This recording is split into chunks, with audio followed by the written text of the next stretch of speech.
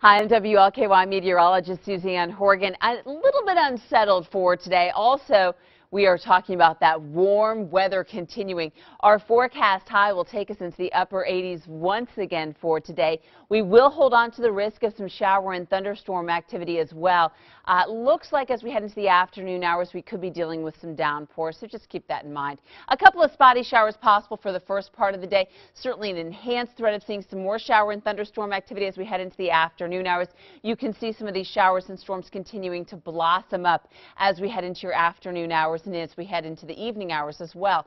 Overnight tonight, a few spotty showers or storms will be possible. Then it looks like as we take you throughout the morning hours tomorrow, a few spotty showers possible.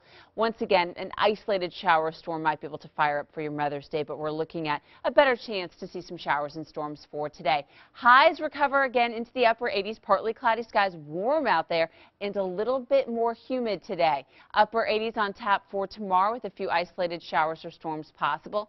86 degrees on Monday with the threat of more shower and thunderstorm activity.